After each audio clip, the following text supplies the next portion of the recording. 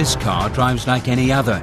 Its top speed is 150 kilometers per hour and it can travel some 450 kilometers before it needs to refuel. But when it comes to the engine, it has more in common with the space shuttle than its petrol-powered cousins.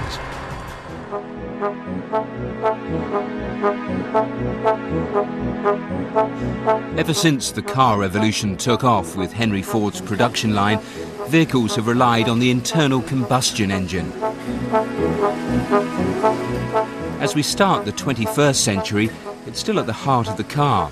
The technology has been tweaked and stretched beyond recognition, but there is a limit beyond which this dirty, smoky machine cannot be taken. And when the fuel runs out, there'll be no place for the internal combustion engine to go.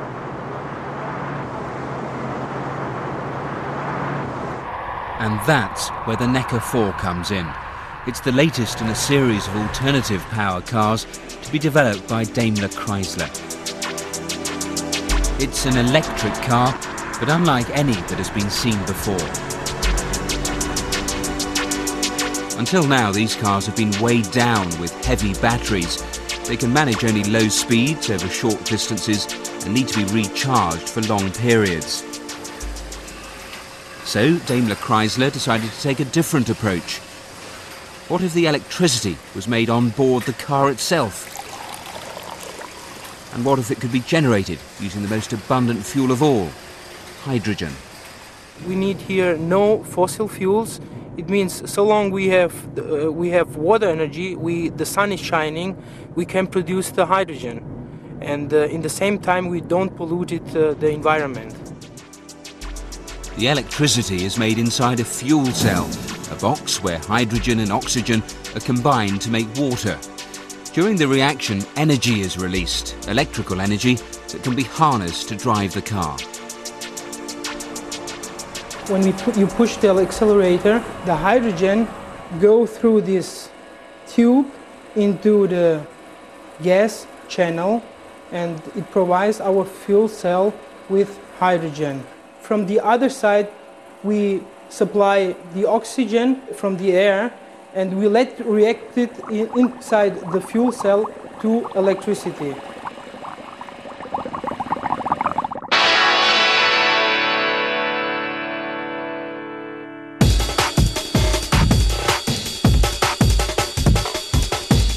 Fuel cells are simple, efficient and pollution-free. Powering them requires only hydrogen obtainable from water and oxygen from the air.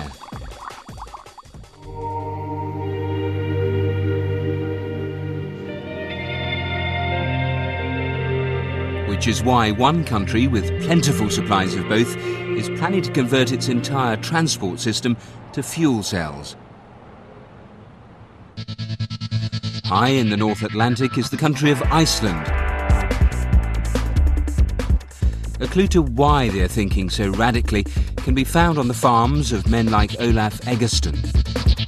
His farm has its own generator, the cowshed is air conditioned, feed is dried, and there's even a hothouse where he can grow Mediterranean fruits. And the energy to do this costs next to nothing. The land here has many resources. It's just a question of making the most of them. Iceland sits on the point where the continental plates of Europe and America meet, creating a geothermal hotspot. Steam and water bubble out of the earth, providing both heat and energy to drive turbines. Elsewhere, there are abundant waterfalls from melting glaciers, providing non-stop hydroelectric power. Iceland already generates two-thirds of its domestic power from these waterfalls and geysers, yet this uses just 1% of the country's natural resources. So, these two men, Hjalmar Arnason and Bjorn Skulason, plan to tap this energy source further and produce hydrogen from water, taking Iceland and perhaps the rest of the world out of the carbon economy completely. With uh, respect to all the sustainable energy we have here around us and the manpower we have in Iceland, I believe that Iceland will become the first hydrogen society in the world. Arnason is a member of parliament and a visionary, and he heads a committee that is dedicated to making his dream a reality. He and Skulason have set up a company to draw up the blueprint for Iceland's future and perhaps the future for the rest of the world. And they've been captivated by the NECAR project's success. The changes with fuel cells uh, could be, to begin with, uh, the buses and the, and the such vehicles. Then you have passenger cars developing, and hopefully the automakers will be mass producing fuel cell vehicles in 2004 or 2005. Hopefully, shortly after that, we will have mass production of ships uh, which could be powered by fuel cells. In the long run, we could also power airplanes with fuel cells or with, with hydrogen, since already all space shuttles and so on are powered by hydrogen. To fuel this ambitious plan, Iceland is going to need to produce hydrogen on a large scale. But with nearly unlimited geothermal and hydroelectric power to hand, it'll be in a position to manufacture the gas cheaply and in bulk. And that's not all. What is more, we see that within not many years, we might start exporting, and we will pretty soon start exporting hydrogen from Iceland to the international market and uh, obviously make money. Perhaps we will end like Kuwait of the North. That is our future dream. Within 20 years, every car, truck, and bus in Iceland will run on a hydrogen powered fuel cell. And it may not be too many more years after that before we're all driving cars with fuel cells instead of engines and Icelandic hydrogen in place of Middle Eastern oil. Hydrogen powered cars may not be the only new way to get around. Japanese scientists may already have found the ideal energy source for the transport of the future in the form of a powerful natural phenomenon. It is one of the four fundamental forces of nature generated by molten metal at the core of the Earth. And now it's being used to push a train along a track. That force is magnetism. These giant magnets power the fastest train in the world. They're so strong that they have to be superconductive and cooled by hydrogen. They're coupled with magnets on the track, which attract and repulse to pull the train along. The result of all this high-tech engineering is a train that could travel from London to Paris in less than an hour.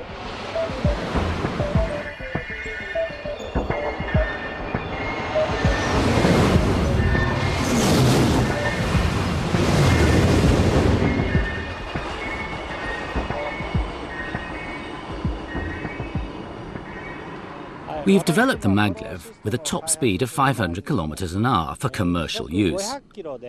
The system's target is to compete with domestic flights, which connect the big cities. The maglev system will cut the journey time between the cities of Tokyo and Osaka to one hour, quicker than an aeroplane. I'm sure this system will be adopted in the future.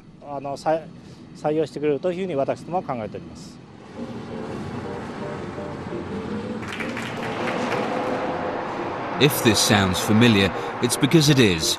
Magnetic trains have been around since the 1960s. The desire for high-speed intercity links pushed everyone to look for alternatives to the traditional rail system. A floating train seemed the answer. Using magnets to levitate the vehicle above the track removed friction, and the electromagnetic repulsion that drove the train forward was pollution-free and virtually noiseless.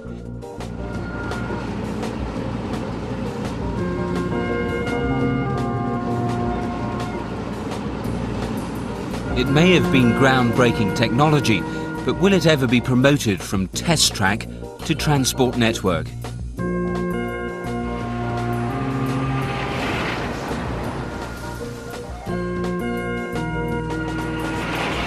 In 30 years of working with maglev, Professor Tony Eastham has closely followed its development. Maglev has been around for a long time, but it's not yet really found application. I think uh, the costs of it are such that people have been very hesitant to commit to an implementation. In the meantime, maglev was still being tested, and tested, and tested. without ever making the leap to fee-paying customers. The reason was cost.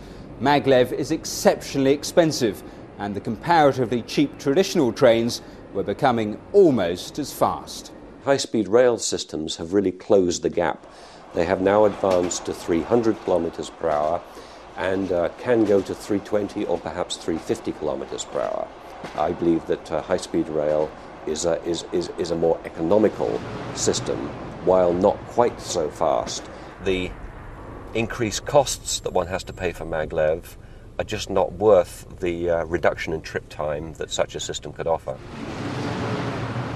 Super cooled, super powered magnets may provide speed, but at a price. The technology was simply too expensive to be of practical use.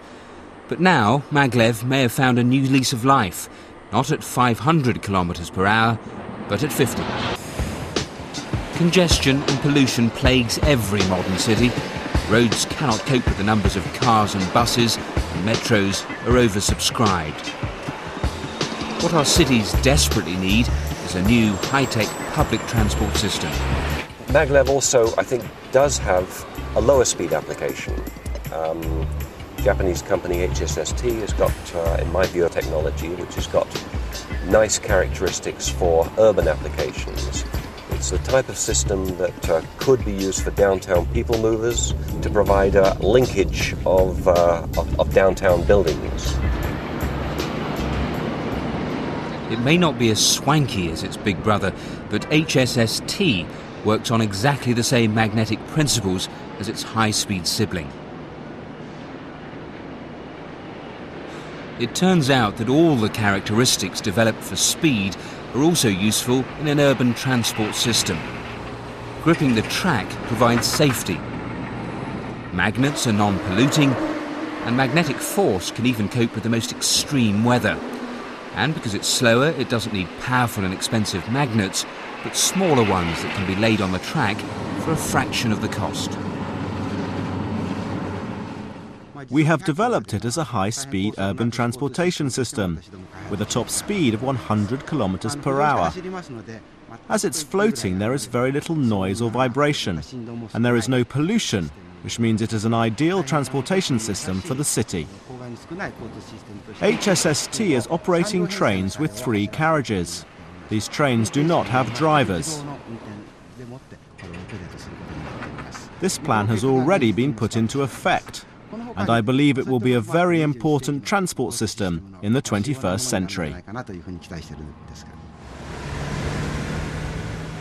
In 20 years' time, I think that uh, low-speed maglev rail systems will be really providing urban people mover type systems.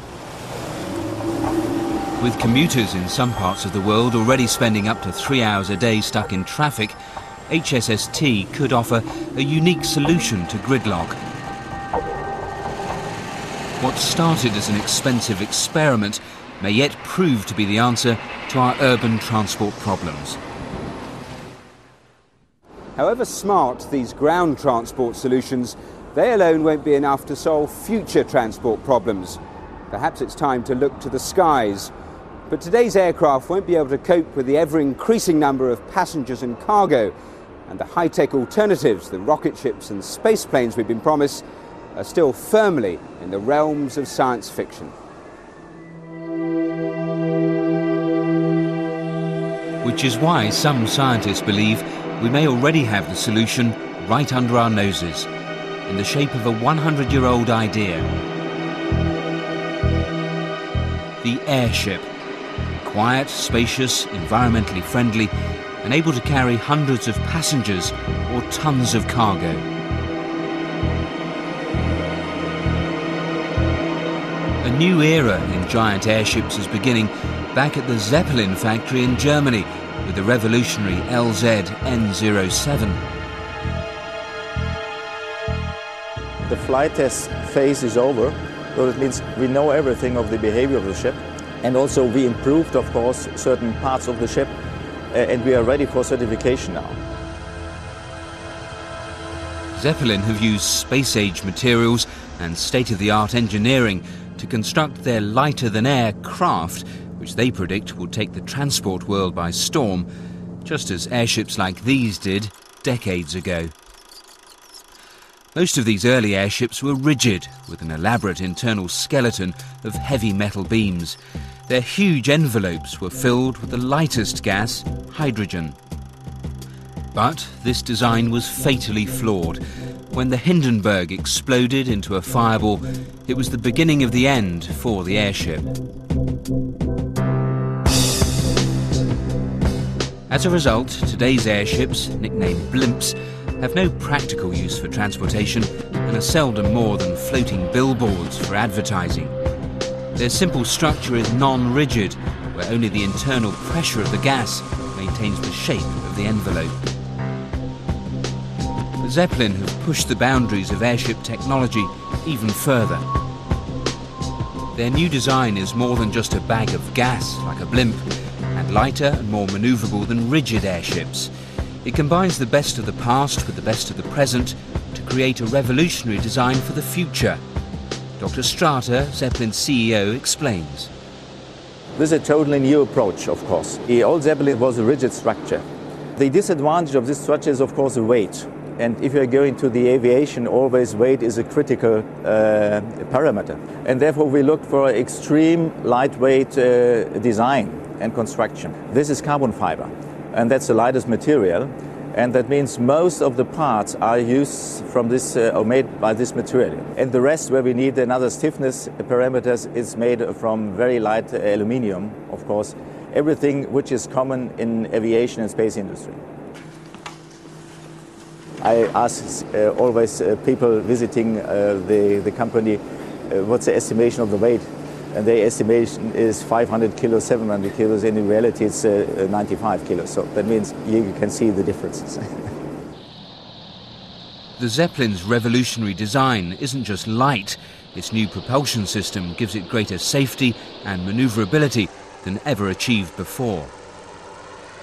We designed a new propulsion system, and you see propellers. And we have three engine groups on both sides and at the rear end.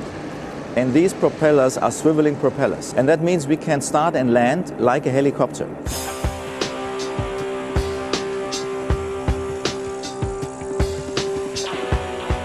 This increased maneuverability, together with a state-of-the-art cockpit, makes the once dangerous takeoff procedure now both safe and simple. After we have the clearance from the tower, then we tell the crew chief that we're ready to go off mast and all these handles then at that time are forward here.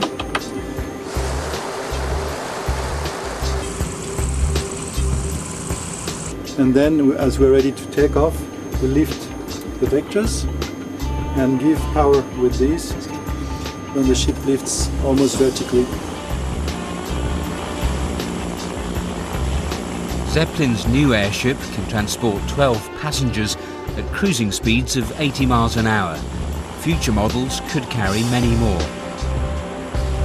But when it comes to solving future transport problems, Zeppelin's new passenger model is just the beginning. The real challenge for the future is cargo transport. If the burden of moving goods and machinery around the world could be taken off the roads, it might make travelling for the rest of us much more bearable.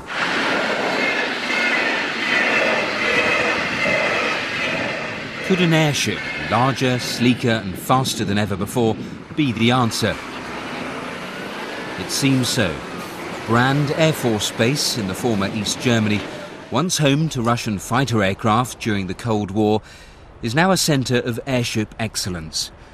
Here, engineers have plans to build the biggest and most ambitious airship yet. The cargo lifter will carry payloads of up to 160 tons.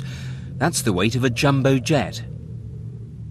Uh, the cargo lifter is the basic idea to combine an airship with a crane system. The major job they will do, they will transport heavy lift outsized goods. Just to give you a comparison, the size of the goods is about 50 meters long, 10 meters wide, 10 meters high. So this is a, a three-store building actually, what, what we can transport. So we are focusing on these heavy machinery parts out of the power plant industry, civil engineering industry, out of the oil industry. So we can transport high volume goods, what's not possible today. The cargo lifter will be so big that a special purpose hangar has been designed to house the first two models and to serve as a production facility. It will be the largest hangar on Earth.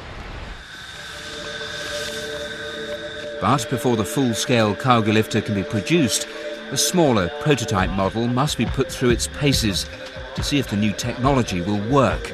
This is the 1 8th scale model of the cargo lifter, affectionately named Joey. We are very satisfied with the flight tests we have done so far. Uh, Joey serves many important purposes for us in the development process and in the construction process of the cargo lifter because it was a uh, a kind of rehearsal for us. Joey's success has allowed the engineers to begin production of the full-scale model.